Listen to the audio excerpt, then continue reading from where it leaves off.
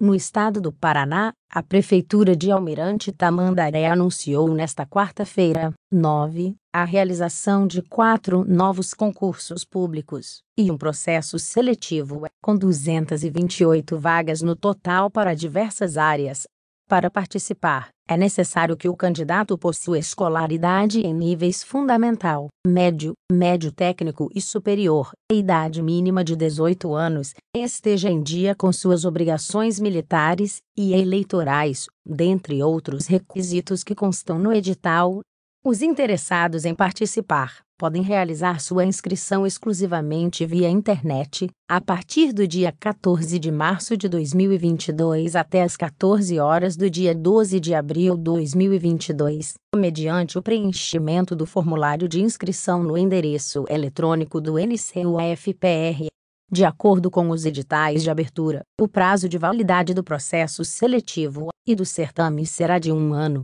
contado a partir da data de homologação, podendo ser prorrogados, uma única vez, por igual período. Informações adicionais podem ser obtidas através do edital completo, que consta em nossa loja, bem como material de estudo.